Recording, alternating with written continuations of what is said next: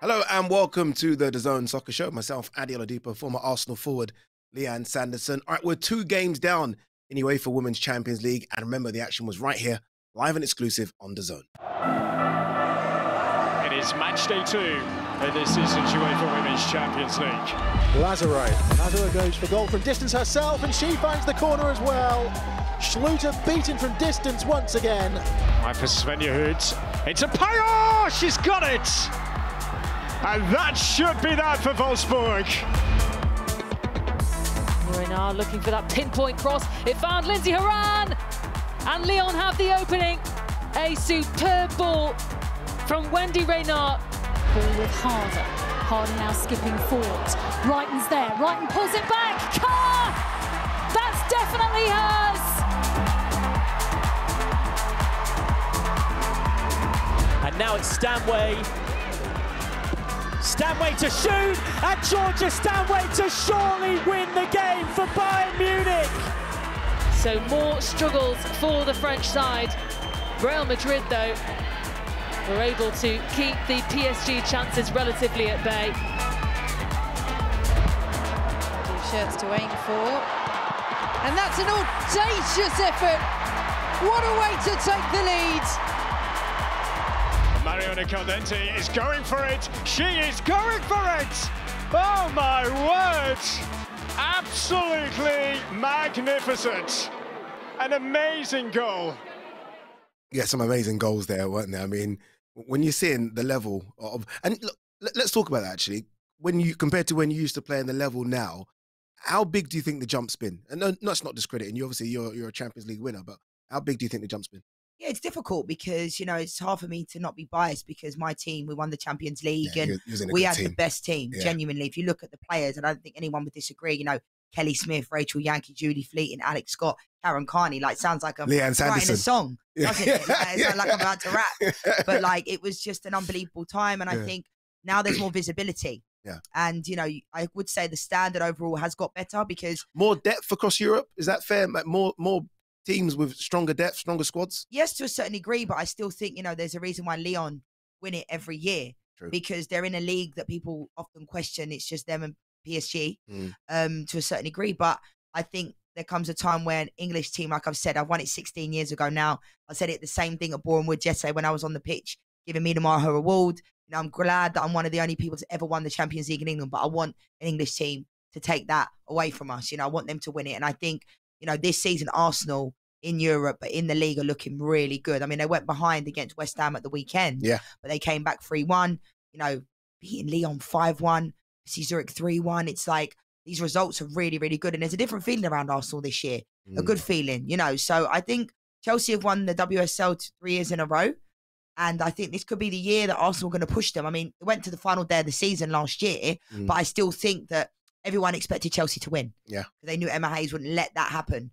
But this year, I think Arsenal are really coming after it. Yeah, let's talk about the English stars. Let's start with Arsenal. You mentioned there this group of death, right, that they're in Juventus and Lyon. And it's one thing going away and beating Lyon, but you got to follow it up. And they did at the Emirates, beating Zurich 3 1. Yeah, absolutely. And I think as well, there's a lot of squad depth. They've got mm. Hurtig now that come over from Juventus. They've got Jordan Nobbs back fit. She came on against West Ham, was absolutely brilliant. Scored after being on the pitch for 75 seconds you know, and against the Zurich in the Zurich game, she scored that amazing goal, you know, inside of the step volley. And Jordan Nobbs is a big player, so hopefully she can stay injury free because she'll be massive Arsenal. And I think you know their group is a very hard group. Yeah. When I played for Juventus, it was almost like I almost went to the club when it was in its first, you know, season. Mm. Therefore, they wasn't really ready for Champions League yet. And we played Arsenal in pre-season. We got beat five 0 We played Chelsea three um, in pre-season, got beat three 0 You can see now, you know, Juventus are drawing against teams like Arsenal, drawing against teams like Chelsea. You can see it, and Arsenal still yet to play uh, Juventus next. Yeah, yeah. Let's stick with that group very quickly before we talk about Chelsea. Again, we call it the group of death because all the teams are strong in that group. Lyon, they're in danger, aren't they? It's only the top two that go through. They drew with Juventus, just a one point so far from Lyon. They always win it. Lyon always get to the final. They're in big danger of not getting out of the group. Absolutely. You know, not won a game yet. A loss and a draw. It's not good for them, but they're a top, top team. They're mm. making a lot of mistakes. Wendy Renard this year has made uncharacteristic like mistakes. I think obviously Kadeisha Buchanan's now at Chelsea as well. She's a big loss for them for me. She was playing minimal minutes towards the end of her time yeah. at Lyon, but I think she's a big loss for them.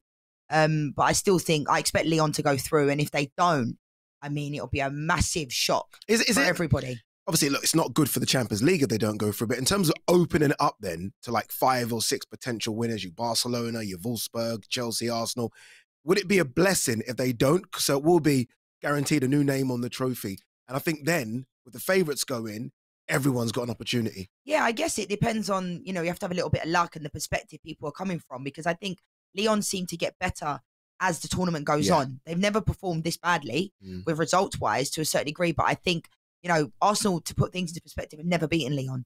Mm. We never beat them. When I was there, they've never beaten them in history of the Champions League, and they was able to beat them five one away from home. Exactly. So you know, I don't want to get carried away, but I no no no, we can get carried agree away. with you that maybe if they don't go through, it will open up for everybody else. But then I don't think it necessarily would open up just for an English team because mm. I think a lot of people might think, oh, you know, then Arsenal, Chelsea are going to win. Well, no, they're still Barcelona, who still PSG, there's still unbelievable others, yeah. team. Barcelona are a fantastic team. They really are, and they just come unstuck last year in the final because they were beaten by a better Lyon team, and Hegerberg was back, and she was amazing. Mm. Stick with Arsenal very quickly. Uh, you were at Boreham Wood to give Miedema a, trophy for 150 appearances. It's funny because I, I, see the photo of you and her, and she's smiling. I can almost see a grimace in that smile as well. Obviously, she isn't playing right now. I think me and you spoke at the start of the season that she is the star. She is the key person, key personnel. Why isn't she getting minutes? What's going on there? It's a weird one because you know I don't know the ins and outs, but for me, she's my favorite player to watch in the league. I absolutely mm. love her. I've said it for two, three seasons now. She's breaking all different types of records. She's a fantastic player, but I think you know Jonas Eidevall's the manager. He's made this change where he's put Maanum in there. Yeah. She scored. She's getting assists and she's playing well. He also started to play Miedema a bit deeper yeah. this season. And a lot of people have said, you know, she can play almost like Dennis, that Dennis Bergkamp type of role. Yeah. But I personally prefer Miedema up there. She's kind of like not to draw comparisons because I'm before people start saying you compare her to Haaland. I'm not comparing her to Haaland, but she's the type of player that stays in the box yeah. and can score those types of goals and gives a different option. And I just think she makes everybody else around her better. So for me, it should only be a matter of time before she goes back into the lineup. Mm. But I did feel for her at the West Ham game because, you know, no player doesn't want to play, let alone Miedema. I mean, it's like taking Harry Kane out of the Tottenham team. Mm. You know, it's almost like things you just can't imagine. Imagine if Harry Kane didn't play for England that for me is the magnitude of Miedema not playing for Arsenal. I guess her problem though right now is Arsenal winning. Yeah. So you don't change a winning team, do you? They're winning and they're winning games big as well. Well, Jonas Eidevall's created a situation here that I don't think he expected.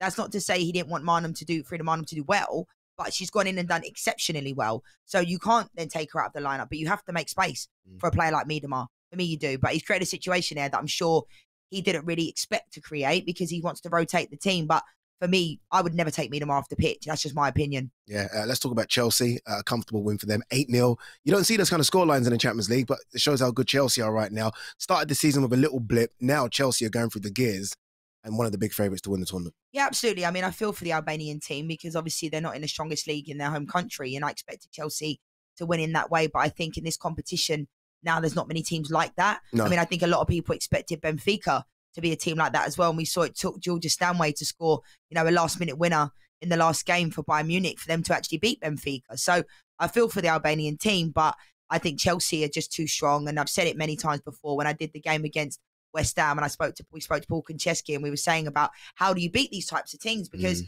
you know Sam Kerr's on the bench. They've got Guro Reiten in there. They've got Fran Kirby who says sometimes she can't play through illness or an injury they'll bring in a Jessie Fleming who's an Olympic gold medalist. Do you know what I mean? Yeah. Like they'll they've just got so much genuine strength that they can just mix it and match it. And mm. Emma Hayes has done an amazing job there. So for me, this is the one that's always got away from Emma Hayes with regards to at Chelsea because she was our assistant manager mm. at Arsenal when we won the Champions League, you know, all those years ago. But this is the one that I think she desperately would want to win. And obviously she's still not on the sideline and we wish her a speedy recovery. Yeah, we certainly do. Away from the English teams, good wins as well for Barcelona and Wolfsburg, two strong teams, especially Wolfsburg. They've been strong for years. But Barcelona got to the final last year, as you say. Many people thought they'll give Lyon a better game in there and just got kind of blown away in that one. But those two teams were expected to go deep in this competition. Yeah, I mean, and the additional players, Lucy Bronze, Keira yeah. Walsh, like adding, and Alexia Putellas is still out injured, so mm. she's yet to come back the best player in the world. Yeah. So, you know, they've got amazing players, they genuinely have. And, you know, there's a reason why they went unbeaten in their league. They're a fantastic team. And when you watch them live, Barcelona, they genuinely like the way they move around in triangles and the way they pop the ball around for fun. and the additional players that they have in Lucy Bronze, Keira Walsh, I mean, that realistically should set them up in a really good place because I think if those two players were playing last year in the final against Lyon, that would have been the difference to a mm. certain degree. It's easier said than done. Mm. You never know that hindsight's a great thing, but Barcelona know what they need to do to win the competition because you don't want to keep getting to the final and not winning.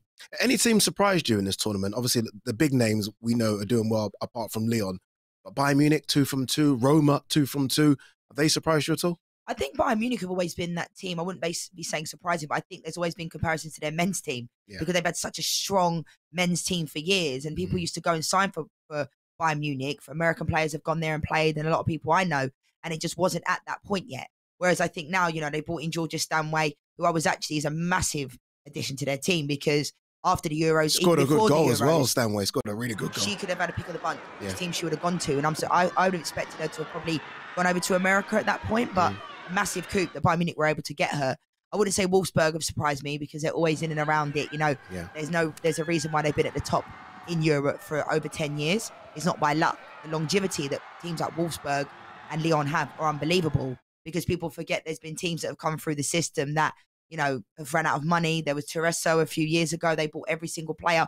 Marta played there, Christen Press, and they ran out of money. So the product of these clubs have, like Wolfsburg and Lyon, you've got to give them a lot of credit because they have longevity. So I wouldn't really say Wolfsburg have surprised me. Roma, yes, yeah, because you know I played against them when I was at Juventus a number of times, and they've got a, they've got a good, you know, their, their manager actually was uh, my assistant manager, one of the academy managers at Juventus, and they've got a good product there. They've got a great facility. They're backed by the men, and, and those types of things make a difference because mm. a lot of people can turn around and say, well, what does it matter if they're backed by the men or not? It does. Yeah. Trust me. Thankfully, we've progressed from where if a, if a male team gets relegated or something like that, then a women's team get used to get cut. Mm. Believe it or not, we'd be sitting there thinking, oh, they're in the relegation zone. We might get our funding taken. Whereas thankfully now, you know, the men's team are backing and Roma are doing really, really well. So they'll probably be my surprise of, of the bunch. Wow, Lianne. Look, what Lianne doesn't know about the UEFA Women's Champions League, you don't need to know. You, you, really don't. English team's doing well so far. We might have a surprise team coming through as well. Match day three, remember, is live and exclusive on the zone November 23rd and the 24th.